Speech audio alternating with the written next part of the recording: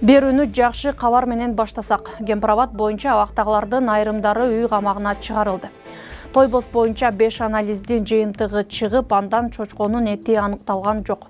Күн ичинде орун алган окуялар менен чыгарылышты баштайм амансызбы баткенде укмк кызматчысына ири өлчөмдө пара берип жаткан жаран кармалды. Бул тууралуу укмкдан билдиришти.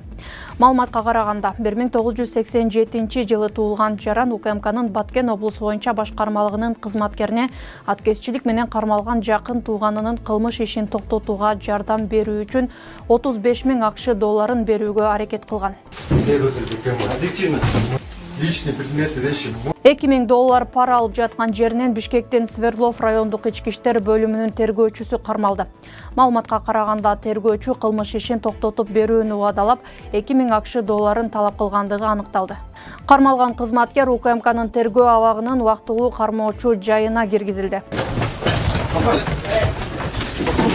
Камера там окна. Следователь объективно. Личный предметы вещи ак ордо үч конушунда жер чырынан улам үйү түрттүрүлүп балдары менен көчөдө калган марал шараболотовага учурда жаңы үй курулуп жатканы айтылган. Үйдү куруунун чыгымдарын садыр жапаров көтөрүп жаткандыгы тууралуу дагы кептер тараган кечээ мамлекет башчы төрт балалуу келинге жаңы үйдү ким куруп берип жатканын айтты. Мен барып көрүп кеткенден кийин соттогу маселелери чечилгенче көп кабаттуу үйлөрдөн убактылуу батир таап бала чакасы менен киргизип турула деп кызматкерлерге буйрук берип кеткем. Эртеси күнү асафа фондунун өкүлдөрү соопчулук үчүн ошол эле жерге биз үй салып берели уруксат бериңиз деп кайрылышкан экен. Кудай жалгасын дедим кудайдын улуу рамазан күндөрүндө сооп табалы деп асафа фонду салып берип жатат. Бирөөнүн эмгегин сууп иштерин менчиктеп алганыбыз туура эмес. Мен салып берип жаткан жокмун жөн гана себепкер болдум эскерте кетсек ак ордо конушундагы жер чырынан улам үйсүз калган үй бүлөнүн окуясы коомдо резонанс жараткан жерине президент өзү барып окуяны көзөмөлгө алууну тапшырган кемпирабад иши менен кармалган клара сооронкулова үй камагына чыгарылды мындай чечимди бүгүн он экинчи апрелде бишкектин биринчи май райондук соту чыгарды знаете мы сейчас э, опять очень лишний тяг ляпнешь и опять окажешься в том же самом месте. Поэтому домашний арест там есть свои определенные условия. Я думаю всему свое время. Сейчас я думаю надо от каких то комментариев э, воздержаться. Следствие продолжается. Вот и в принципе все по делу вы знаете. Там добавить мне в основном нечего. Ну дайте в себя прийти. Все спасибо. Спасибо. Эскерте кетсек клара сооронкулова абактан оор операцияларды өткөргөн. Анын ден соолугуна байланыштуу бир катар даттануулар айтылган. Мындан тышкары аталган иш боюнча мамбет жунус абылов жана асия сасыкбаева дагы үй камагына чыкты. Можете рассказать вас по каким причинам отпустили? Ну я даже, честно говоря, не про прослушала. Они что-то зачитали, э, эти следователи. Это было ходатайство следствия. И суд удовлетворил. Хорошо. Как ваше состояние здоровья? Ну, терпимо. Ну, надо лечиться дальше. удачи вам Да, спасибо большое.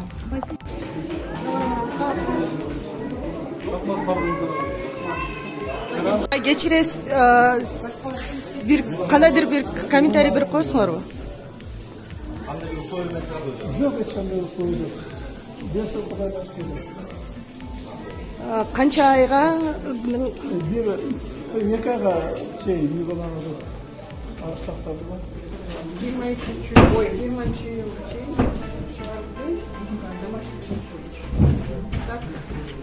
ограничениялар Лакбарова еще Ничего говорить не могу. По состоянию здоровья и потому что уже возраст, поэтому. Она вину не признает. Диссертация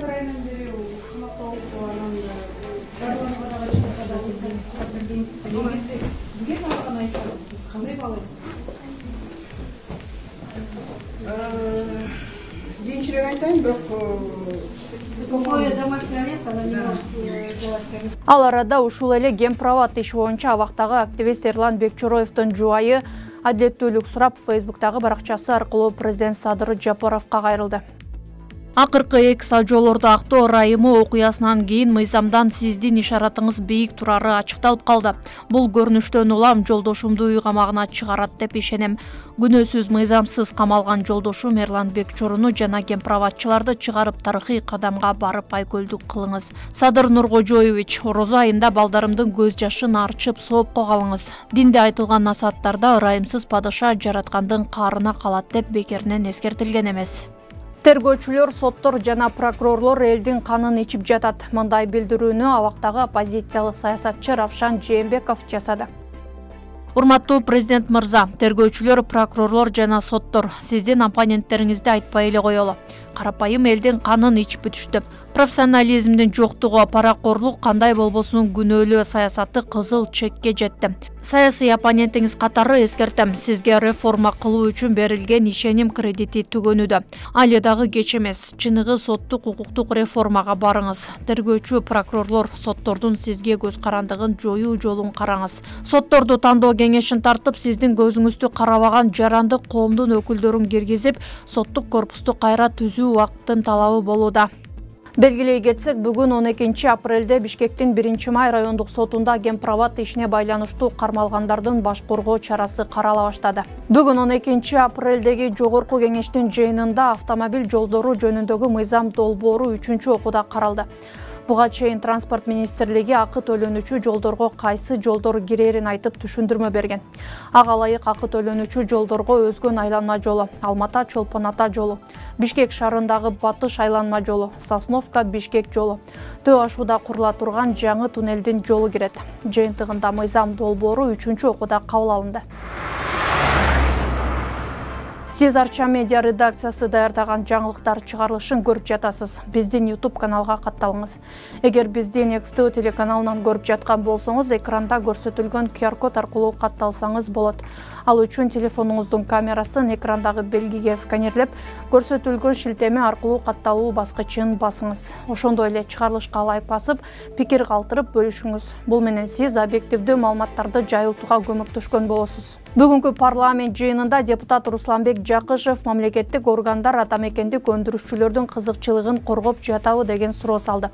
Депутаттын айтымында айыл чарба министрлиги ата мекендик өндүрүшчүлөрдүн кызыкчылыгын коргошу керек. Жакында эле россиянын бир тиешелүү мекемеси тойбос деген компанияда чочконун эти бар деген сөздү таркатты. Эми бул мына карап көрсөң кыргызстанда эң таза ишканалардын бири.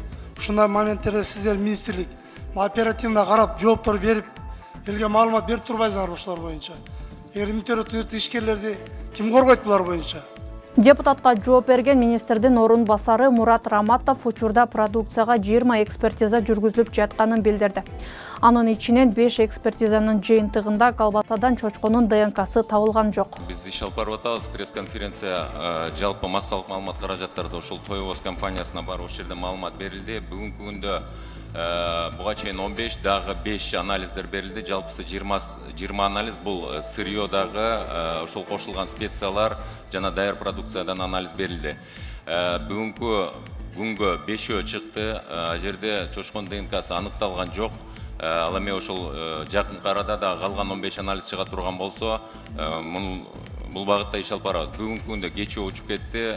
Ветеринария департаменти жетекчисине россияга кетти. Ушул сүйлөшүүлөрдү жүргүзүү боюнча анализдин жыйынтыктары чыгаары менен дагы иш алып барабыз. Эске салсак орусияда кыргызстандан келген халал колбасадан чочконун эти табылган. Сөз болуп жаткан тойбоз соода маркасы аталган маалыматты четке кагып тиешелүү экспертизалар дайындалган. Ал арада жогорку кеңеш он миллион төрт жүз миң сомго жаңы компьютерлерди сатып ала турган болду бул боюнча тендер жарыяланып конкурстук билдирмени кабыл алуунун акыркы күнү он жетинчи апрель деп белгиленди. Техникалык мүнөздөмөсүндө жүз отуз даана компьютер сатып алуу пландалганы көрсөтүлгөн. Алыңыз ошону алыңыз. Эмне түшүп жатат кубка кана перчатки перчатки кана. Сиз көрсөтүн деп атсыз блогер улукбек карыбек уулу тартып чыккан оштун кара суу районундагы мырзалим кафеси санитардык талапка жооп бербейт деп убактылуу жабылды мекеменин маалыматына ылайык самса жасоочу жай бир жылда бир жолу болуучу пландык текшерүүнүн жыйынтыгынын негизинде жабылган.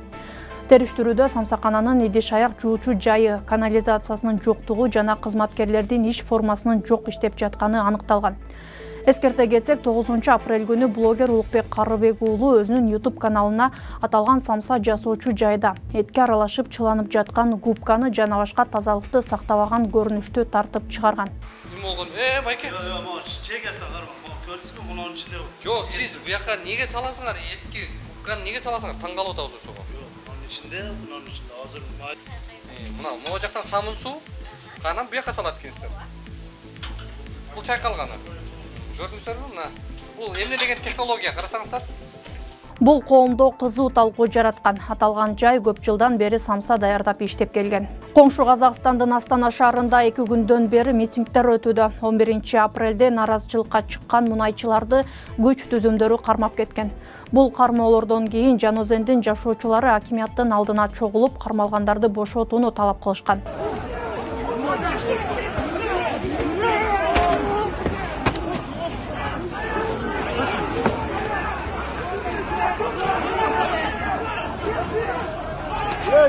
Балашова Жукмана и Юрий А?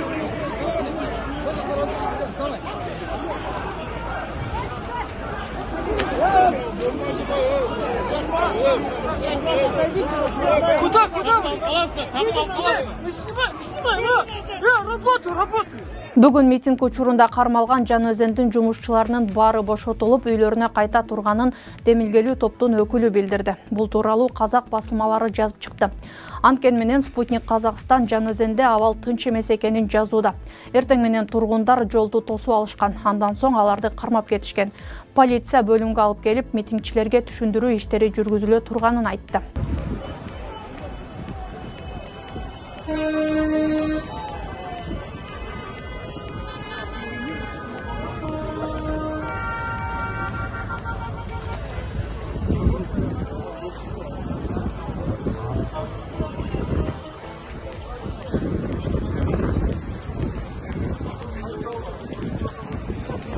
ушундай кабарлар менен берүүнү жыйынтыктайм аман туруңуз.